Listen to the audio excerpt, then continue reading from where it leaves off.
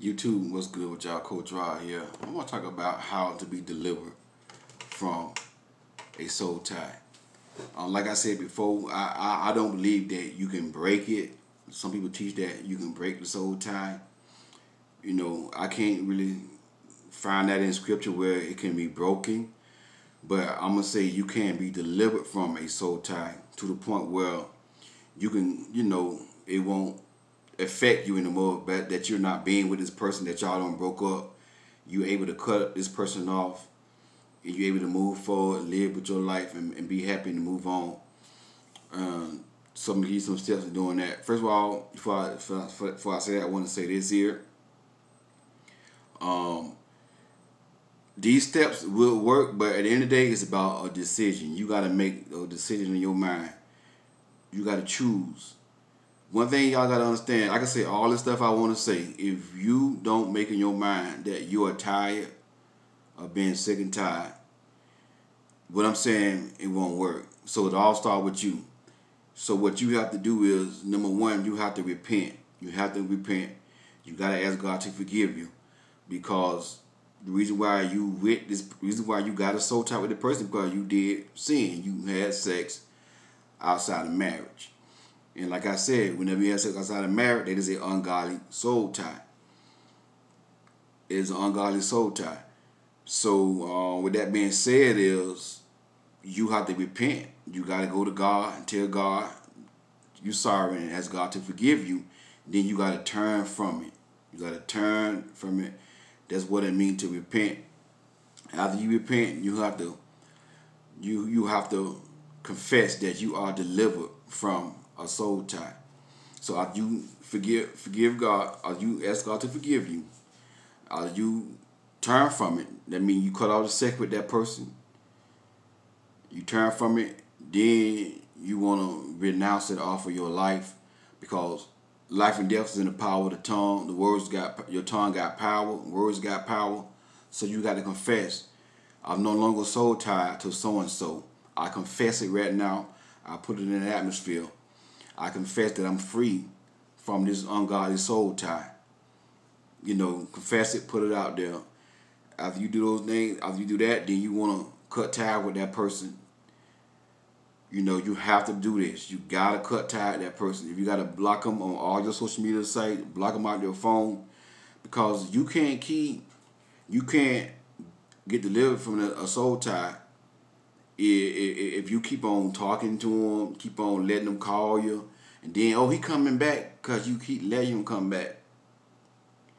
You got to make up your mind that you are going to just cut everything off with this person, and I know you can do it you can do whatever you want to do as a human being. We got power to do what we want to do.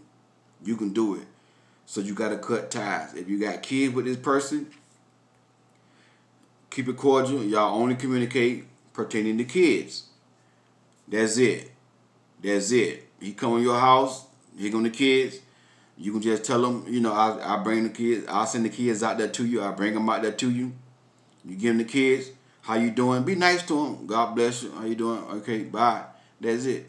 If they want to talk to you about how you been and, and what's going on, I'm good. Just keep it short. I'm good. Everything good. But when they want to start talking about getting back together, or I mean, we used to do this and da da da da da. Mm-mm. Keep it, cut it off. Listen, listen. You had me. You had me. You didn't want to do right. Now you want to talk about we could have worked and how good it could have been. Because a lot of times your exes, they like to do that. You know, once you cut them out, then now they want to be all, you know, man, we could have made it together. Man, I still miss you. Just cut it off. Listen, listen. God bless you. God bless you. I don't want to hear it now. You had your chance. I gave you so many chances. I'm done with it. Just walk away. Walk away. Now, if your kids are of, of age, you might want to give your kids a cell phone you know, my son, he eight years old. He got a cell phone. He just uses it just case emergency, whatever.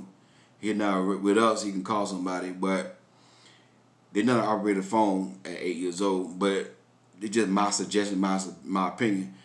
It all depends on your thing, how you raising your kids, though.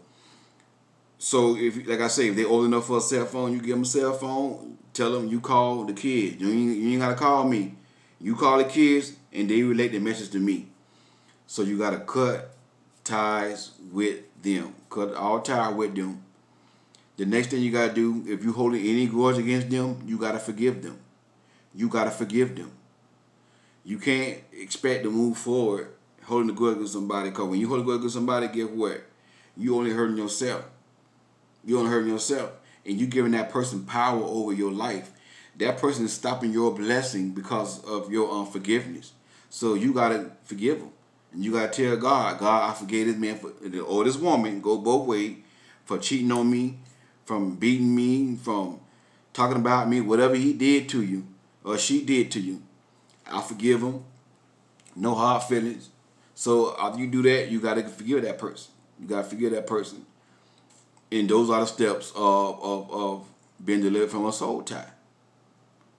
Those are stuff. First of all, you gotta repent. You gotta you gotta turn away from it. Tell God you're sorry, and turn away from it. Then you gotta renounce it. You gotta tell that soul tie, hey, listen, get out of here. Get out of here. I no longer soul tie to so and so. The, the third thing you gotta do, you gotta cut everything off with them. Block them off your social media sites. Block them off your phone. Cut all ties with them. If you got kids with them, keep it cordial and only have contact with him pertaining to children. That's it. That's it. You can do it. It's all up to you. And then once you do that, you gotta forgive him. Forgive him. Forgive her, or whoever it is. And, and you know, don't hold against your heart and tell God, God, I forgive him. I forgive him. I don't wish nothing bad on him. I wish him the best. I wish her the best. I forgive him. I, I will not allow this to keep me in bondage and hold me down. Understand? And, and, and, and, and you know, once you do those, those I'll say, what, four steps, you can do it. Once you do those four steps, you can do it. And it's not going to be easy. It's going to be hard. Yeah, it's going to be hard. It's going to be sometimes you want to pick up the phone and call them. But whenever you feel like that, you got to ask yourself, is it worth it? You got to talk to yourself and say, do I deserve that? Cause I'm gonna tell y'all something. We think people just gonna change cause we just let people do what they want to do and we just keep loving them. And no matter how much they do to us, if I keep loving them, they're gonna change. Mm-mm. Mm-mm. Stop trying to change somebody. Stop trying to change somebody. The only person you can change is yourself. You can't change nobody. The only person you can change is you. Stop trying to change somebody. And y'all be trying to do something that God can't even do. God can't even change nobody unless they yield. Because God gave everybody a free will. And you sitting there praying to God, this man cheating on you, the woman cheating on you, dogging you out, and you up there praying to God that God would change that person. Guess what? He ain't gonna do it until they surrender. Because God gave everybody a free will. So you can do it. Those are the four steps that I, I believe in you can do to get delivered from a soul tie. Not break it, but you can be delivered from that soul tie. With that person you see, that ungodly soul tie.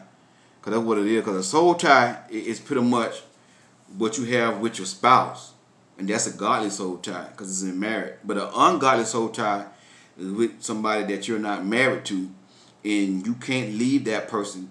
And you know it's toxic. You know it's wrong. You know he keep cheating or she keep cheating. They keep dogging you out, keep disrespecting you, keep beating on you. You know it's wrong, but you can't let go. That is an ungodly soul tie.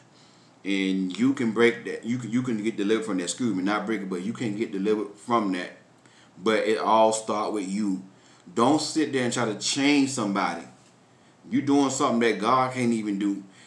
God gave everybody a free will until that person yield to God like Jacob did in the Bible. When Jacob wrestled with the angel, Jacob had to yield to God and confess to God. That's the only way God can change somebody. Stop trying to change people. Remove yourself from the situation. All right, Eddie Coach Rod, God bless you.